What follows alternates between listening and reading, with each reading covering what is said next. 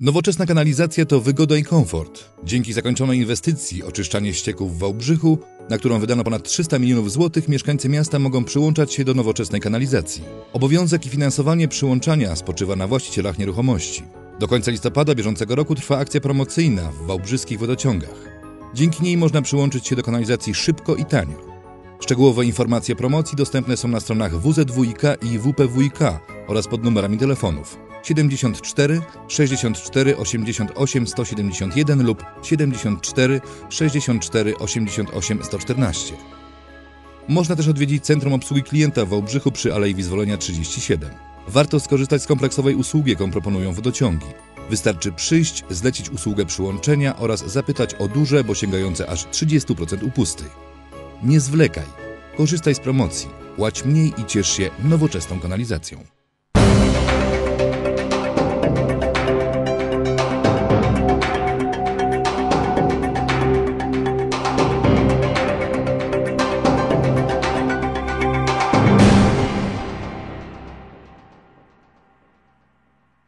Edyta Nawrocka, witam Państwa 5 listopada. Zapraszam na serwis informacyjny. Szewak Weiss, były ambasador Izraela w Polsce, odwiedził Wałbrzych. Z rąk prezydenta Romana Szełemeja odebrał tytuł honorowego obywatela miasta.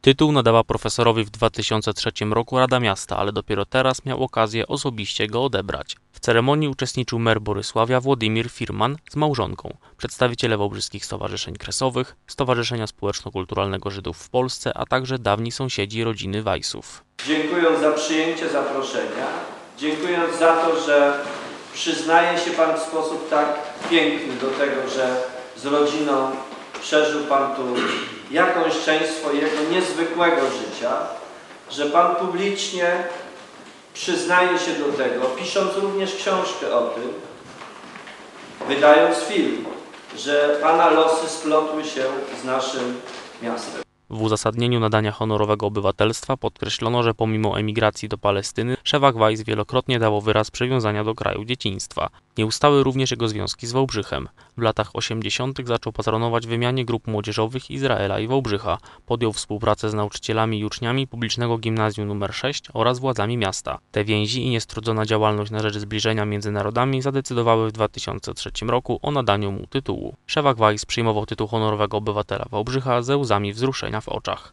Profesor nazwał Wałbrzych swoją drugą ojczyzną. Zapamiętał piękne drogi, aleje i domki z czerwonej cegły. Każde drzewko mi przypomina, ja naprawdę pamiętam wszystkie schody. Myśmy mieli wtedy dwie możliwości. Jedno w Gliwicy, kiedy myśmy przyjechali z Kresów razem z Polakami, albo Waldenburg. Nie wiem, może mój tato postanowił święty pamięci, niech będzie Waldenburg.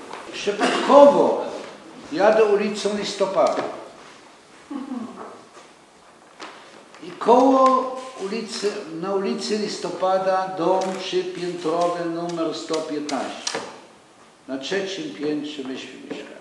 Przypomniał też o swoim dramatycznym dzieciństwie, kiedy jego rodzina ukrywała się najpierw u Ukrainki Julii Lasotowej, później u polskiego małżeństwa Anny i Michała Górali, a następnie pomagała im przetrwać sąsiadka Maria Potężna wraz z synem Tadeuszem.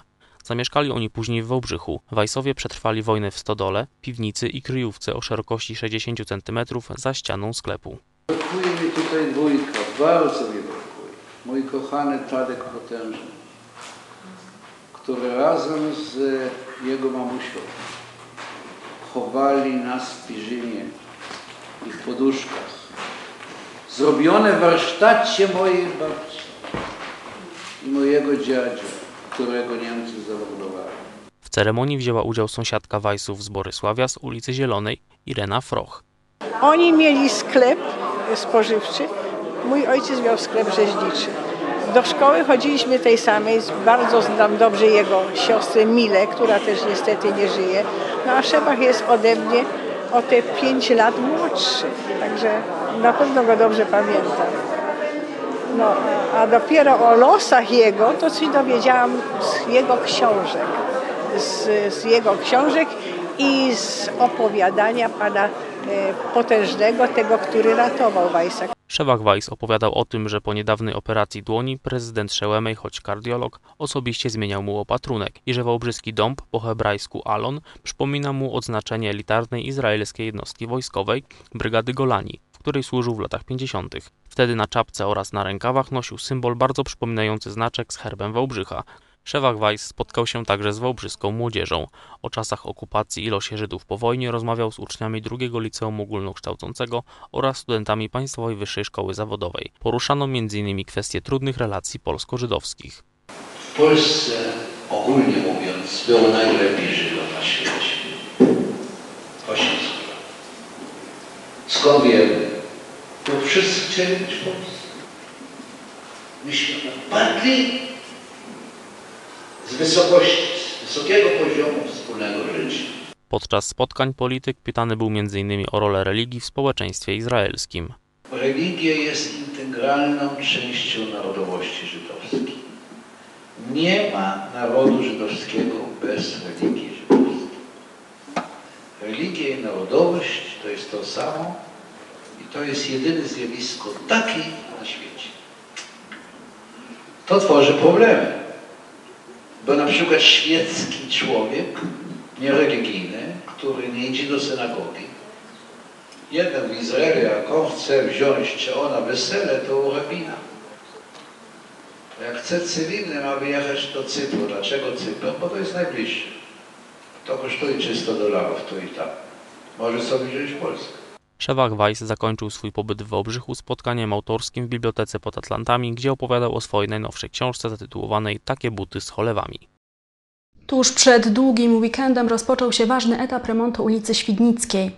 Niestety wiąże się to ze znacznymi utrudnieniami dla kierowców, ponieważ na prawie całej długości tej drogi obowiązuje ruch jednokierunkowy. Znaki informujące o zmianie organizacji ruchu na ulicy Świdnickiej znajdują się na remontowanym skrzyżowaniu tej drogi z ulicą Noworudzką i 11 listopada. Niestety nie wszyscy kierowcy je dostrzegają bądź je ignorują, przez co 800 metrów od skrzyżowania muszą zawracać i szukać innego dojazdu do ulicy Niepodległości bądź posesji znajdujących się wzdłuż ulicy Świdnickiej. Ruch jednokierunkowy przebiega od strony ulicy Niepodległości. Niestety kierowcy nie stosują się do tego zakazu, jeżdżą na pamięć, wjeżdżają na ten odcinek, który jest dopuszczony jako dwukierunkowy, następnie próbują wjechać na ten odcinek jednokierunkowy. On jest na tyle wąski, że tam dwa pojazdy się nie zmieszczą i tworzą się naprawdę sytuacje bardzo niebezpieczne. My od kilku dni mm, stoimy tam, staramy się informować kierowców, aby zwracali uwagę na znaki. Problem w dalszym ciągu występuje, szczególnie nasi wałbrzyscy kierowcy jeżdżą na pamięć, nie zwracają uwagi na, na to oznakowanie, dlatego apeluję o to, żeby zwracać uwagę na oznakowanie, nie wjeżdżać w ulicę Świdnicką od strony ulicy 11 listopada. Rzecznik Dolnośląskiej Służby Dróg i Kolei Krzysztof Kiniorski poinformował nas, że utrudnienia powinny zniknąć w ciągu miesiąca. Niestety na czas układania nowej warstwy asfaltu na tym odcinku nie ma możliwości wprowadzenia ruchu wahadłowego, ponieważ jest to zbyt długi odcinek, a korki mogłyby spowodować paraliż zarówno ulicy Niepodległości, jak i dodatkowe utrudnienia na ulicy Świdnickiej od strony remontowanego skrzyżowania. Według informacji, które przekazał nam rzecznik, nie było także możliwości remontowania węższych pasów ruchu, ponieważ groziłoby to w przyszłości pęknięciami. Kierowcy jadący od strony remontowanego skrzyżowania muszą korzystać zatem z objazdu przez Nowe Miasto, co niestety, jak pokazały ostatnie dni, wiąże się również z powstawaniem korków, głównie na ulicy Piłsudskiego. Po raz drugi Wałbrzyszanie przyszli na rynek, żeby upamiętnić swoich zmarłych, wypuszczając lampiony pamięci. Wspominano także osoby ze świata kultury, medycyny, edukacji turystyki, które odeszły od nas w tym roku. Na telebimie wyświetlane były nazwiska nieżyjących osób zgłoszone przez wałbrzyskie rodziny. Wspominałem mojego, moich przyjaciół, lekarzy, którzy odeszli. Jeden z nich to pan doktor Leszek Dąbek. Przed kilkoma tygodniami, właściwie przed kilkunastoma dniami żegnaliśmy go na cmentarzu. Wiceprezydent Zygmunt Nowaczyk wspominał nauczycieli i dyrektorów szkół. m.in. Joannę Rak, kaliszankę z urodzenia i wałbrzyszankę z wyboru, która od 1961 roku uczyła fizyki w szkole podstawowej nr 20, potem w drugim liceum ogólnokształcącym, a do końca życia, już będąc na emeryturze, utrzymywała kontakty ze swoimi uczniami. Zmarła 25 maja 2012 roku. Dyrektor Teatru Dramatycznego Danuta Marosz i Jerzy Gronowski wspominali bileterkę Hannę Burakowską, która sprzedała milion biletów widzom teatru, a do każdego z widzów odnosiła się z uśmiechem, i aktorkę Sabinę Tumidalską, która z sukcesem przeszła kilka lat temu z Teatru Lalki i Aktora do Teatru Dramatycznego. Tam odnalazła się w zupełnie innym repertuarze i stworzyła niezapomniane kreacje staruszki w Był sobie Polak, Polak, Polak i Diabeł oraz Niani w Diamenty to węgiel, który wziął się do roboty. Zmarła nagle w środku lata. Wspomnienie poświęcono zagle zmarłemu niedawno byłemu dyrektorowi teatru Wowo Bielickiemu, który jak mówił Jerzy Gronowski kierował teatrem, kiedy jego istnienie było zagrożone i dzięki niemu teatr przetrwał. Zofia Sikora wspominała Henryka Boratyńskiego i innych nieżyjących już członków wałbrzyskiego PTTK. Wałbrzyszanie zwracali uwagę na to, że impreza jest ciekawa, ale jeszcze mało wrosła w życie miasta i niewiele osób o niej wie. Pierwszy raz takie właściwie coś takie puszczam, no ale pięknie to wygląda. Można powspominać tych ludzi, którzy tam już odeszli. To znaczy podkreśla charakter tych drzwi, któr- dni, które są teraz, nostalgię, ale prawdę mówiąc, idąc tu, tak sceptycznie byłam nastawiona, a bardzo mile zaskoczona i uważam, że bardzo fajny pomysł. Mi się naprawdę bardzo podoba ta impreza i uważam, że powinna być kontynuowana. No to jest taki no, fajny gest. y, fajny sposób uczczenia pamięci o osobach zmarłych. Znaczy mnie przynajmniej się podoba, no dzieciom też, także widzę, że to dużo ludzi ma frajdę, no tylko nie mamy wprawy w puszczaniu tych lampionów. No na pewno jest jakaś tam wewnętrzna refleksja, no to przypominam sobie ludzi, których już ze mną nie ma, prawda? Takie uczucie, jakby, jakby ci zmarli byli pośród nas jeszcze. Dziadkowie właśnie chcieli to zobaczyć i patrzą chyba z góry na to, co się tu dzieje w Wałbrzychu. I więcej takich imprez. Być może ta tradycja przyjmie się w naszym mieście na stałe i stanie się nieodłącznym elementem Dnia Wszystkich Świętych i Zaduszek. Tegoroczna akcja Znicz rozpoczęła się 31 października i trwała do 4 listopada. Zdaniem wałbrzyskich funkcjonariuszy policji i Straży Miejskiej na naszych drogach było stosunkowo bezpiecznie. Przez pięć dni funkcjonariusze pilnowali przede wszystkim okolic cmentarzy. Na drogach dojazdowych starali się kontrolować zarówno trzeźwość kierowców, jak i sprawność pojazdów. Nie obyło się niestety bez zatrzymań dowodów rejestracyjnych bądź dokumentów prawa jazdy.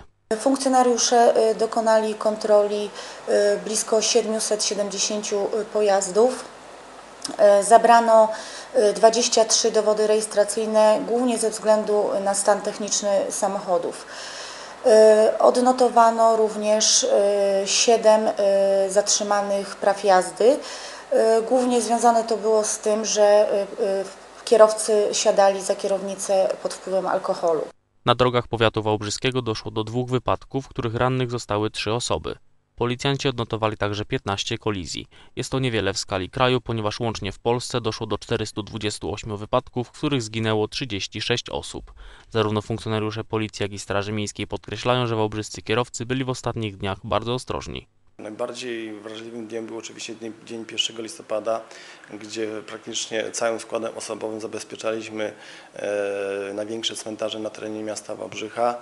Według mojej oceny e, ten dzień przebiegł w miarę spokojnie, mimo tego, że e, samochodów i odwiedzających groby było znacznie więcej niż w latach poprzednich. Nie przestraszyła odwiedzających brzydka aura, brzydka pogoda. E, Kierowcy stosowali się do naszych poleceń, do naszych informacji, parkowali zgodnie z przepisami. My ze swojej strony udzielaliśmy wszelkiej możliwej pomocy, czyli kierowaliśmy samochody na miejsca parkingowe, informowaliśmy osoby, które były spoza Wałbrzycha o utrudnieniach ewentualnie i o ewentualnych utrudnieniach i wolnych miejscach parkingowych na terenie miasta. Służby mundurowe nie odnotowały przypadków wandalizmu ani kradzieży w okolicach cmentarzy. Jedynym poważnym incydentem było wybicie szyby w jednym z lokali gastronomicznych na Podzamczu w nocy z piątku na sobotę. Sprawcę, 23-latka, jednak szybko złapano i przewieziono do aresztu. Mężczyźnie postawiony będzie zarzut wandalizmu, za który grozi mu do 5 lat pozbawienia wolności. Ponad 200 kanarków i ptaków egzotycznych mogli podziwiać Wałbrzyszanie podczas wystawy zorganizowanej w Ośrodku Społeczno-Kulturalnym na Podzamczu. Była to z pewnością jedna z najgłośniejszych i najbardziej kolorowych wystaw, jakie mieliśmy do tej pory okazję oglądać w OSK na Podzamczu. Oprócz standardowych, najczęściej spotykanych żółtych kanarków były także kolorowe, kształtne i tak zwane harcerskie, czyli śpiewające. Podziwiać można było również kolorowe papugi. Wystawa była także okazją do konkursu piękności wśród ptaków. Okazuje się, że również te z jednego gatunku, choć na pierwszy rzut oka mogą wydawać się identyczne, mają wiele różnic, które nie umkną oku profesjonalnego jurora. Każdy ptak ma swój wzorzec y, ustanowiony przez y, KOM. Jest to międzynarodowa federacja, y, która ustanawia właśnie takie wzorce.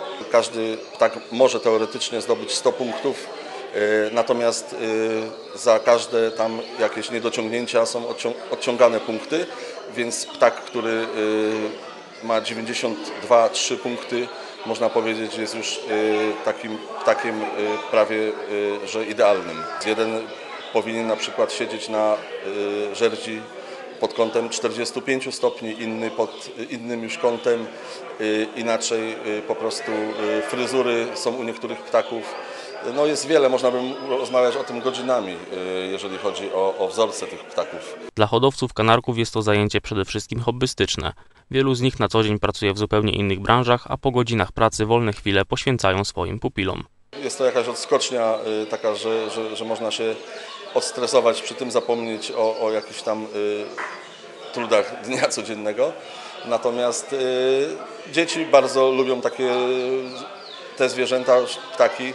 Y, nie jest to tak uciążliwe jak, jak y, na przykład y, hodowla psa lub y, kota, no bo wiadomo, że pieska nie zostawimy samego w domu wyjeżdżając. Tutaj na te 2-3 dni zawsze możemy zostawić wodę, ziarno, możemy gdzieś pojechać lub zabrać ze sobą takiego pupila. Zdaniem prezesa ptaki nie są także uciążliwe dla sąsiadów, ponieważ w nocy śpią, a w dzień nawet gdy ćwierkają, to ich głos jest miły dla ucha. Hodowla kanarków jest również stosunkowo tanim hobby. Bardzo, bardzo tani jest kanarek w utrzymaniu, bo dzienne utrzymanie takiego e, ptaszka e, to jest około, nie wiem, złotówki.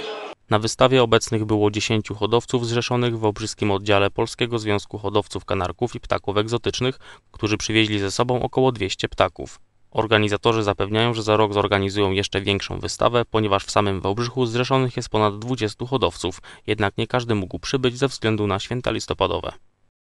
To wszystko, co przygotowali dla Państwa nasi dziennikarze w serwisie informacyjnym. Dzisiaj w programie jeszcze m.in. gość dnia. Krzysztof Szwałek będzie rozmawiał z byłym ambasadorem Izraela w Polsce, Szewachem Weissem. Dziękuję za uwagę. Do zobaczenia jutro o godzinie 17.15.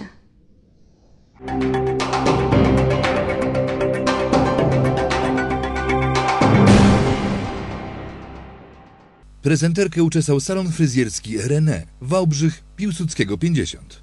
Nasze serwisy informacyjne i program Gość Dnia również w internecie www.tvwałbrzych.pl Więcej informacji znajdziesz też na portalu wałbrzych24.com